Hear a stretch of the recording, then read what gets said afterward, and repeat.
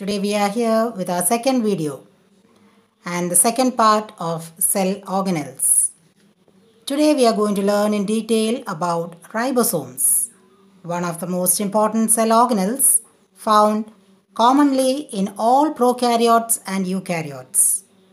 Robinson and Brown in 1953 discovered ribosomes in the plant cells. Palade in 1955 discovered them in animal cells. The term ribosome was coined by Palade.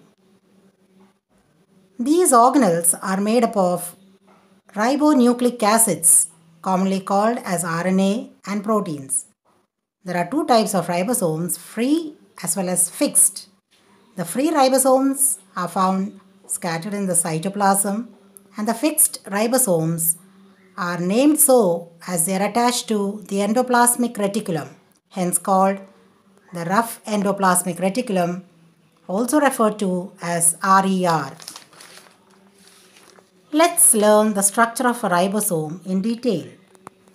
Under the light microscope, the ribosomes appear as dots, whereas under the electron microscope, they appear to have two subunits a smaller subunit and a larger subunit.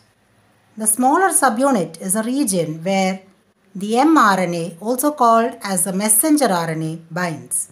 The larger subunit is a region where the amino acids are linked to form long polypeptide chains.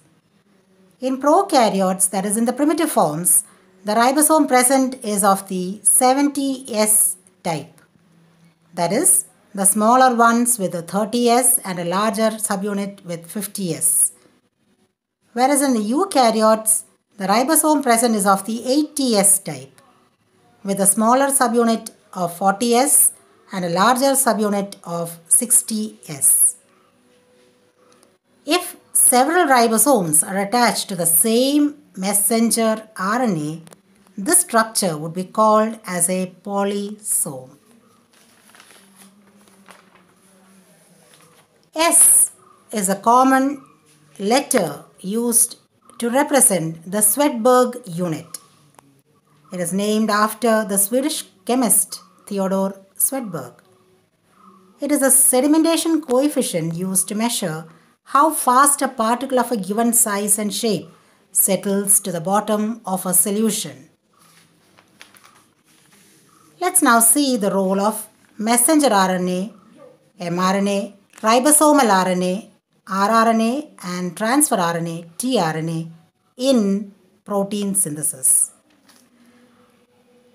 Ribosomal RNA forms the structure of ribosome.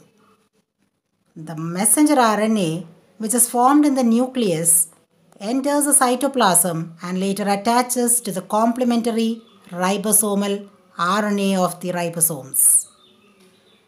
They carry the coding sequence for protein synthesis. The transfer RNA carries or transfers amino acids to the ribosomes for protein synthesis.